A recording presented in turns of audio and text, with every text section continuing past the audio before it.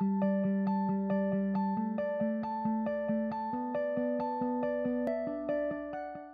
Getting the message out about an organ or something very narrow or specific is difficult because we're really dealing with a lot of competition between a lot of different body parts, a lot of different chronic health conditions. Um, some are more chronic, some are more expensive, some are more prevalent.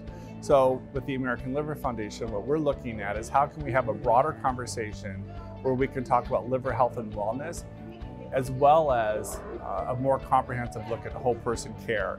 So maybe it's looking at metabolic syndrome disorders, which is really about the metabolic system, looking at diabetes, looking about fatty liver disease, looking about obesity, and having a broader conversation rather than just one about the liver. You definitely get more participation from providers when you can speak broader and include them in the solutions. So if I'm only talking about liver disease, although we might share the same patient, and we might have solutions that will impact diabetes as well as impact fatty liver disease. If I'm only speaking narrow to my field, then I don't really have an opportunity to have participation and I can't create change within the sector. If I can broaden the discussion and have more opportunity for engagement, then we can have a very different conversation where we can look at a solution for diabetes could actually be the same solution for fatty liver disease. And in fact, 50% of the time we're sharing the same patients.